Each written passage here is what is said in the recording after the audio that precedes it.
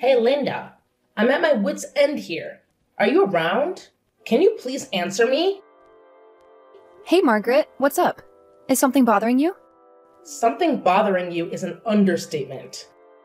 It's your brother, Matthews, driving me absolutely crazy. He's been nothing but abusive and cruel towards me, and I've reached my breaking point. Can you believe it? A grown man like Matthews picking on a helpless and defenseless woman like myself? I don't know how much longer I can handle being in this marriage. Oh my goodness! Are you serious? My brother has been treating you abusively? I'm so sorry, Margaret. I had no idea. Honestly, my brother has never shown any signs of being that kind of person, you know? In fact, he's always been the role model that I've looked up to. I can't believe you're still trying to defend that abusive monster. Do you even see me as your sister in law anymore? Or do you actually want to witness your brother abuse me to the point of no return? I get it now. Matthews is your brother after all. As his sister, you're gonna blindly back him up, no matter how twisted and abusive he becomes. Whoa, whoa, hold on there, Margaret. Could you please just fill me in on what's really happening between you and Matthew?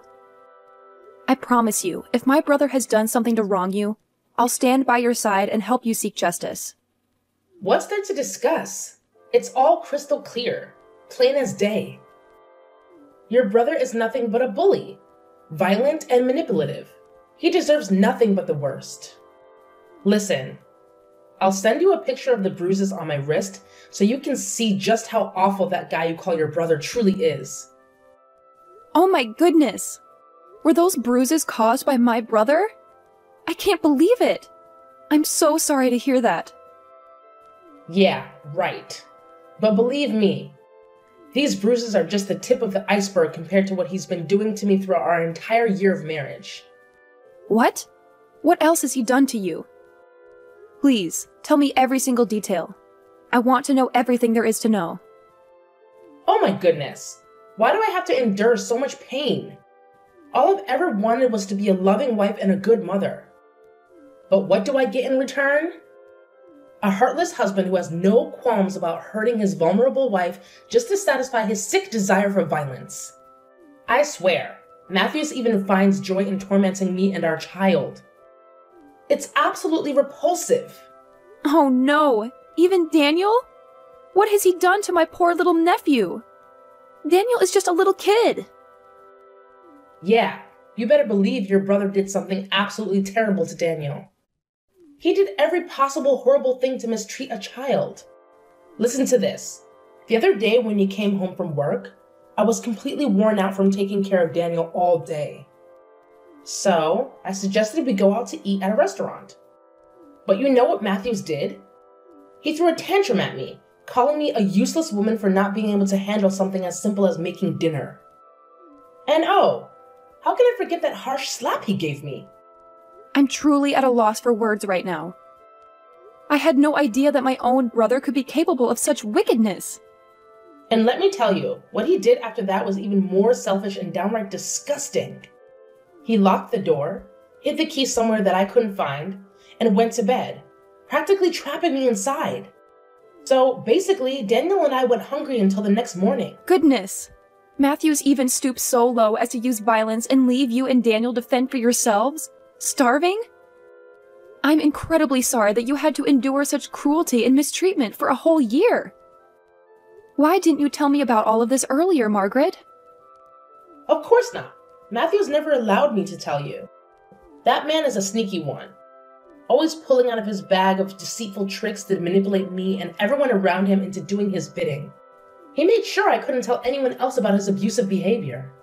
He'd apologize and promise to change after every brutal beating he subjected me to. But guess what? He never changed, and his behavior only got worse. I'm sorry, but this is way beyond anything I can handle on my own. I believe it's time to involve the police in this matter. Don't worry, I've got your back. I'll even assist you with all the divorce procedures if it comes to that. The police? Do you really think it's necessary? Honestly, I'm just concerned about Daniel. He's so young.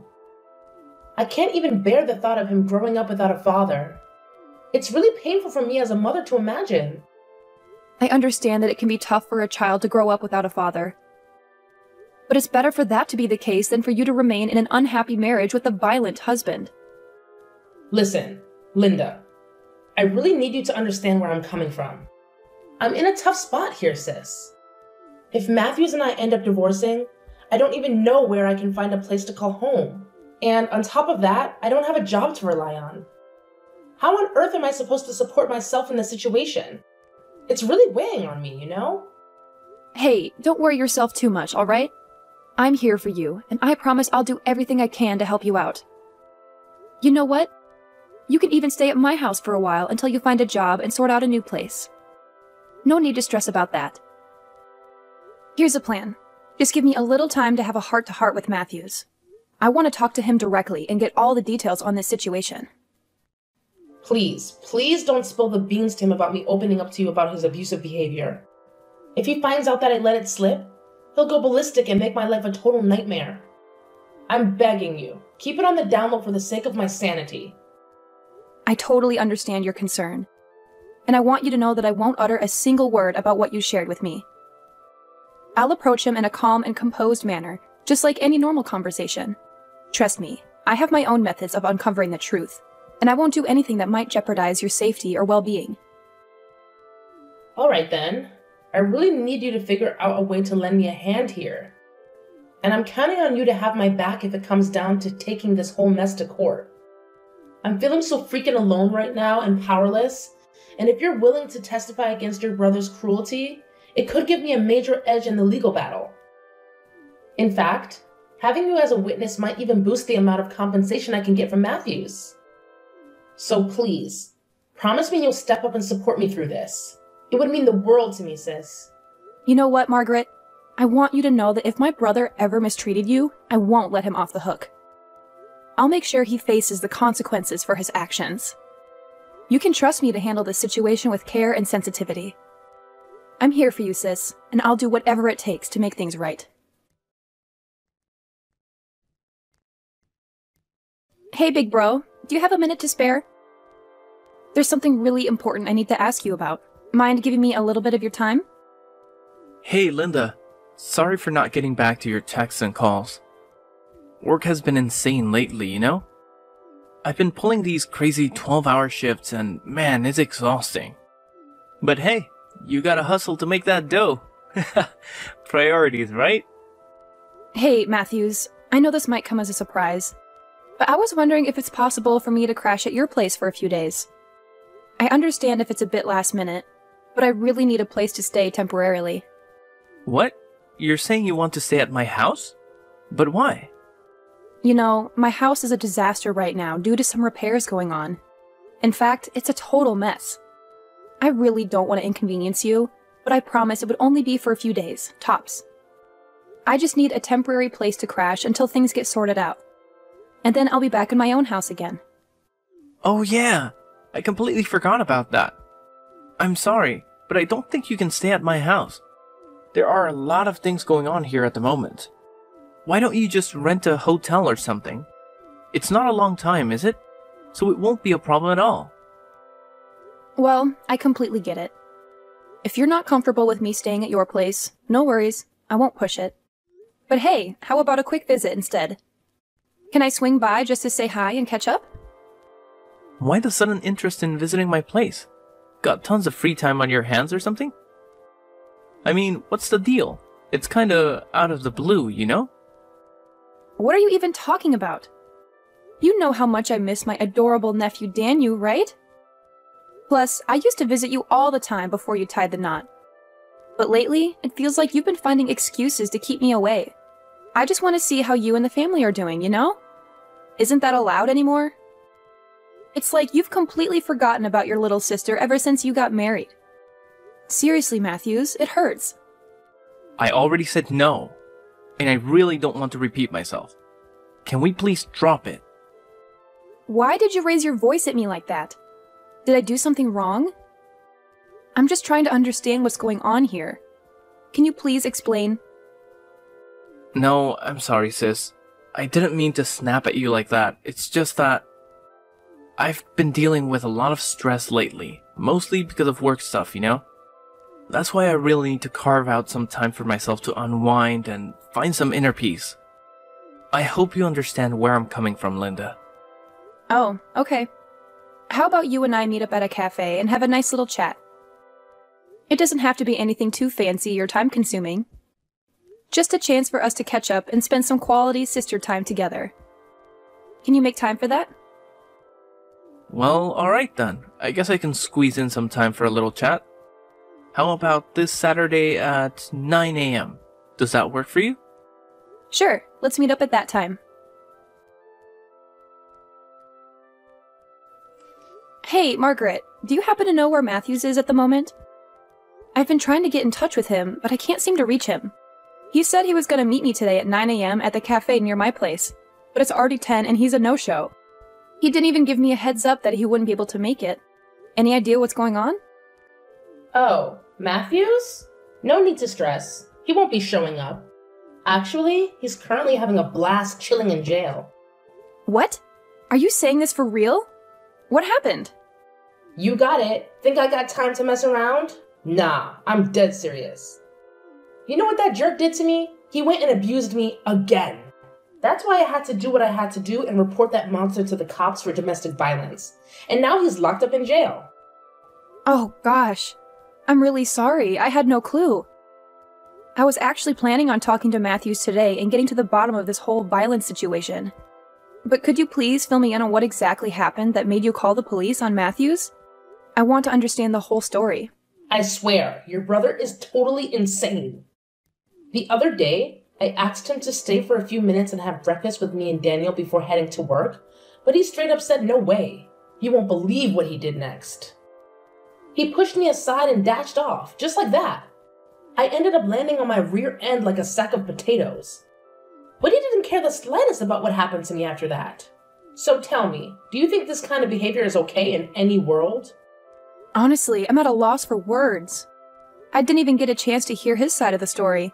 Could you please let me know when Matthews is expected to be released? Well, sucks to say it, but he's gonna be stuck in jail for only two days. Listen, just understand that I didn't want to do this, alright? I never wanted to put my own husband behind bars, but I had to do it to keep myself and our kids safe. Daniel's still a little kid, and he deserves a real dad, not some violent man who's always ready to throw punches at his mom. Margaret, hear me out. If you're feeling like this marriage with my bro is just too heavy to handle, why not put an end to it? I promise, I'll lend you a hand with all the necessary procedures. No, Linda, here's the deal. I'm all about being a kind and forgiving wifey, so I'm gonna throw Matthews a bone and give him his final shot at redemption once he's out of jail.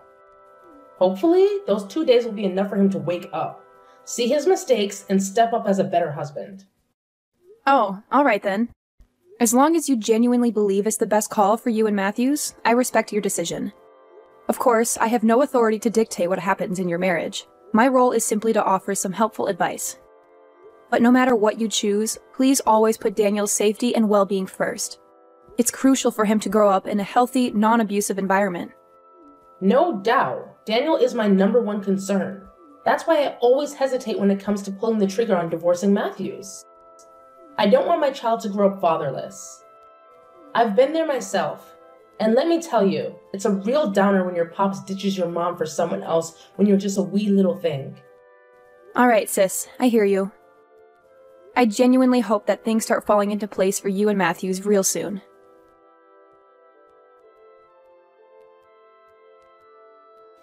Hey, Matthews. Welcome home. So, tell me, what's it like in jail? I can't believe you were only there for two days, man. Now that you're back, why not head straight to the kitchen and whip up something tasty for me, huh? I'm starving like crazy right now. Margaret, you're driving me nuts. Why the heck did you dial up the cops on me?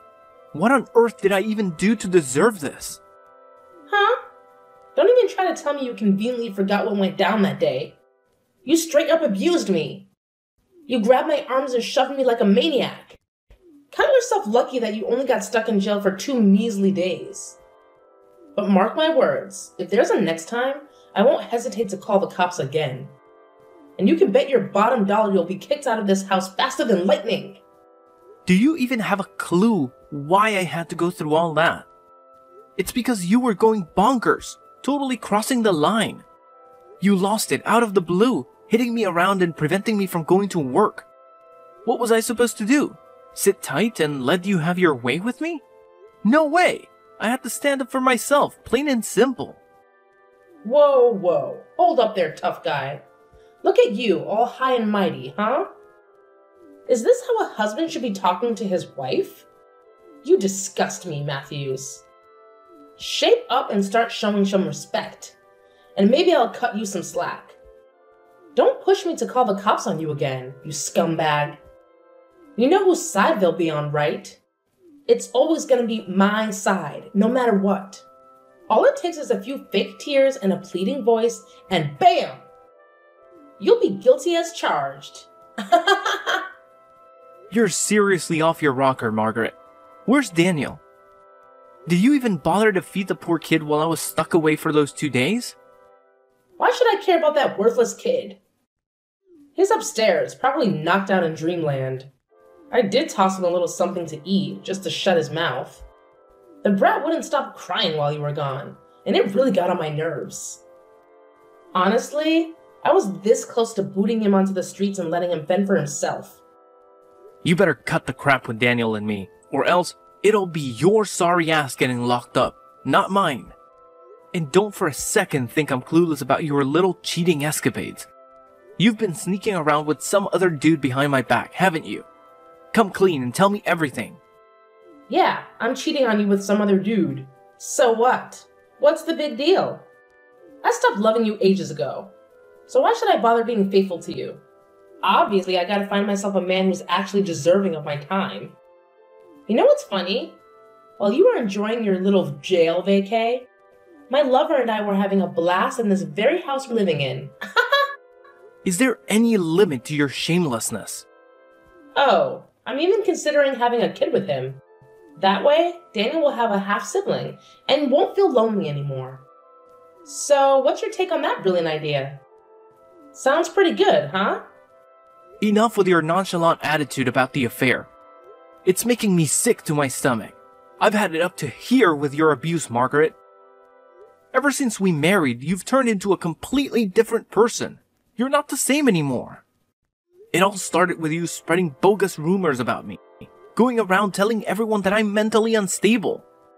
You'd swipe my stuff like my iPod, meds, personal journals, and then have the audacity to claim that my mental health was spiraling. You did everything in your power to crush my confidence and make me think I was the crazy one, rather than you. What are you even talking about? Of course you're the crazy one. I was just spitting straight facts, you know? I simply let everyone see your true colors.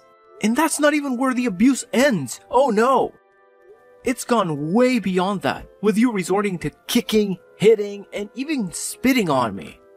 You've even stooped so low as to use Daniel as a pawn to trap me, threatening that I'd lose custody if I dared to divorce you. You want me to stick around so you can milk me dry, both emotionally and financially, am I right? Well, newsflash. I see right through your web of lies and deceit. You've turned into nothing but a monster, Margaret. What's with all these wild accusations? You want me to hit you with a defamation lawsuit or what? Why don't you take a good look in the mirror? You've turned into this dull, cranky old man whose whole life revolves around work, work, and more work. And I gotta say, it's mind blowing how you bust your butt so much and yet bring in so little. Naturally, I had to find someone who can actually provide for me. It's called survival, my friend. Do you even have a clue why I have to work so much? It's because you're not pulling your weight and bringing in any money for the family. And what do you do with my hard earned cash? You go splurging on pointless stuff and have the nerve to keep demanding I make even more money for you to blow through. Yeah, sure thing, loser. Keep talking all you want, but nobody's gonna buy your story everyone's just gonna eat up my side of things, you know? Because apparently I'm this fragile and helpless little lady. yeah, I'll own up to it. I made a real dumb move. I was on cloud nine when you broke the news about being pregnant with our child, and I jumped the gun to marry you. But now, I've come to my senses and seen that it was a colossal mistake. Listen, I've been taking your mistreatment for a whole year, but I can't take it anymore. It's time for it to come to an end. I'm taking the steps to file for divorce, Margaret. Our marriage needs to be put to rest. Oh, look who's trying to act tough, huh? Bring it on, you knucklehead. If you want Daniel ripped away from your grasp. You know what I'm gonna do?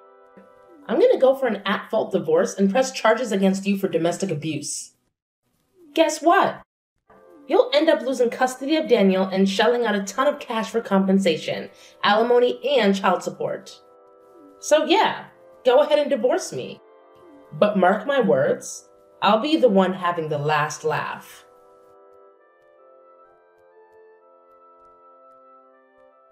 Hey, Matthews, get ready to get pummeled in court real soon. you think it's still a man's world and us ladies have no say, huh? Well, guess what? Times have changed, and women's voices matter more than ever. Matthews, why the silence, you retard? You can't just leave my messages hanging like that. Don't worry, Margaret. Matthews is definitely heading to court. But guess what? This time the tables have turned, and it's you who's in for a ride. Wait, hold up. Who's this? I'm not talking to Matthews right now? No, I'm his sister Linda. It's just mind boggling to think that my brother has been putting up with all that abuse from you. His own wife! But listen up. Things are about to take a major turn because we've all got the evidence required to press charges against you for domestic violence and neglecting your kid. It's time to face the consequences, Margaret. What kind of evidence are you blabbering about? Seriously, you're just kidding me, aren't you? Oh, please. Do I look like I have time to joke around with you? Absolutely not. Look, whether you've realized it or not, I actually went ahead and hired a private detective to trail you and gather evidence of your little affair outside of marriage. That's the so called evidence you're going on about? Pathetic. Like anyone gives a darn whether I'm having an affair or not. Do you honestly believe that's gonna give Matthews any edge in our divorce trial? No chance in hell. Let me clue you in on something. I've got a video in my possession. It captures Matthews abusing both me and our child. He had the nerve to lay his hands on me, even grabbing my neck with his abusive and filthy fingers. So, which piece of evidence do you think holds more weight, huh? Hold your horses, Margaret. I'm not done talking yet. Guess what? The private detective even managed to record a revolting conversation between you and your lover, where you shamelessly bragged about abusing and manipulating Matthews like some sort of twisted accomplishment. It's absolutely sickening. What? You're just bluffing. Nobody's gonna fall for the nonsense you just cooked up on the spot. Keep dreaming, my dear naive Linda. A recording alone won't be enough to bring me down. Don't forget that I've got a video of Matthews getting physical with me. And trust me, that's more than sufficient to land his sorry butt in jail. Ha Oh, you mean half of the video? Huh? What do you mean by that? Stop playing dumb, Margaret. You're well aware of what really went down. You had the audacity to hold Daniel in your arms, threatening to drop him off the balcony. It was because of that vile act that my brother couldn't bear it anymore and took action to protect his child from you. I must say, it's truly sickening to witness the twisted depths your mind can sink to, concocting such a repulsive scheme. How the heck do you even know that? I made sure to edit that part out of the video. This is incredible. It can't be true. Oh, believe it or not, my detective had a chat with the folks managing the apartment where you're residing, and guess what? The entire incident got captured on their security cameras. But wait, there's more. Your neighbors are ready to step up and testify against you in court. It's game over, Margaret. Matthews is divorcing you and seeking compensation for all the physical and emotional suffering you've put him and Daniel through. You better start preparing your wallet because you'll be coughing up big time for the pain you've inflicted on your own family. So enjoy your freedom while it lasts, Margaret, because it's not going to be for long. What's all this, Linda? I'm seriously lost here.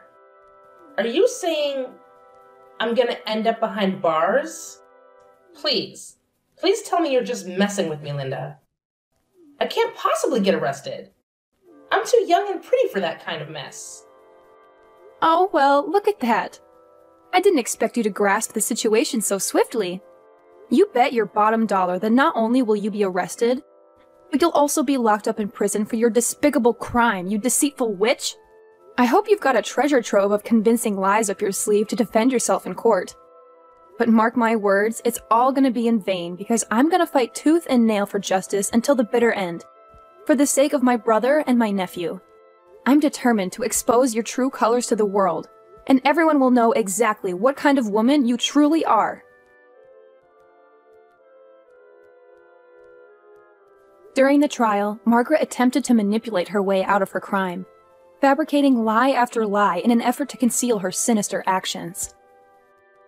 She shed tears and begged Matthews for forgiveness, but all she received in return was his icy indifference. The evidence against Margaret, clearly demonstrating her guilt, was undeniable. It turned out that she had always carried a patronizing and condescending demeanor towards those around her. This is why the neighbors didn't hesitate to step up and support Matthews.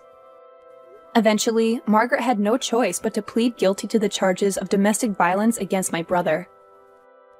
Furthermore, she was compelled to provide him with a significant financial settlement as compensation. Following the divorce, Matthews was granted custody of Daniel. Witnessing him hold his son in his arms was truly heartwarming. The way my brother gazed at his child, tears welling in his eyes, is an image that will forever remain etched in my memory. I am genuinely relieved that justice was served allowing Matthews to escape from an abusive marriage and look forward to a brighter and better future.